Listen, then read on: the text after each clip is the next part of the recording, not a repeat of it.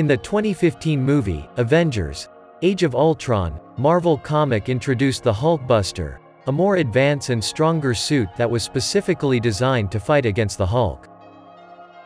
The Hulkbuster first appeared in 1994 during a series of stories written by Len Kaminski and penciled by Kev Hopgood. In Iron Man 304, the first appearance of the Hulkbuster was made, but it's just the final page as a teaser for Iron Man 305. The Mark 44 armor, better known as the Hulkbuster, was Tony Stark's 44th Iron Man suit, made with the help of Bruce Banner. Created solely for the purpose of restraining the Hulk, it is a modular suit that Tony used while in another Iron Man armor. It is launched from an orbital tracking platform, known as Veronica and was used by Stark to fight the Hulk during the Duel of Johannesburg.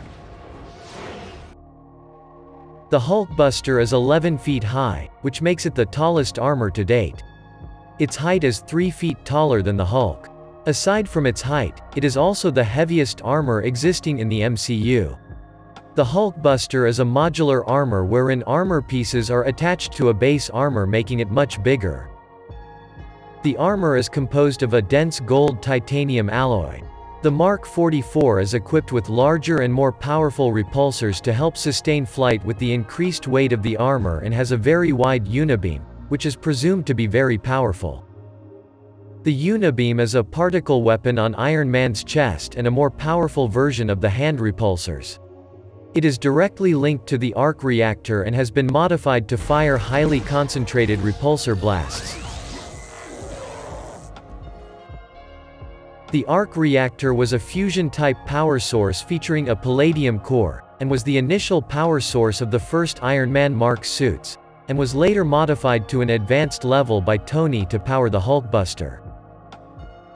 Like all other armors, the Mark 44 has flight capabilities, although given its size, its speed and mobility are reduced. Like all of his armors, the suit contains a heads-up display within the helmet to allow Stark to analyze the environment.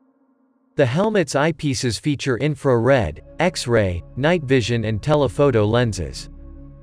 Both arms are equipped with hydraulic rams which make them capable of delivering powerful blows, and use the fists as a jackhammer.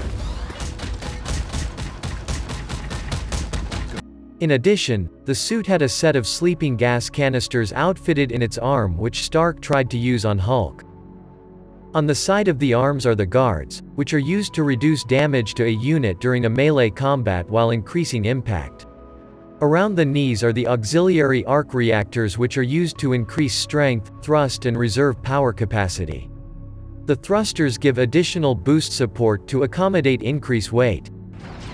Should the Hulkbuster armor sustain heavy damage, Veronica hovering above the armor will respond to the authorized user's command by sending spare parts to replace the ones that were damaged. Fearing the day when the Hulk's rage might become too much to control, Tony Stark developed this mighty armor as a countermeasure to Hulk's brute strength. Assembled upon command from a series of modular components, the Hulkbuster armor encompasses Iron Man's normal suit, encasing him in an extremely durable shell. The armor's design is reinforces with powerful servos and dense plating, allowing it to withstand even the Hulk's strongest outburst.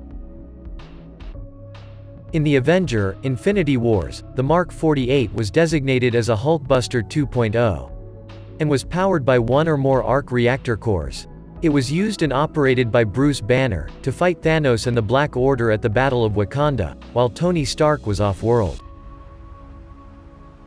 However, the numerous Iron Man armors that Tony Stark built throughout his presence in the MCU perfectly showcased his otherworldly intellect as well as his penchant for spectacle.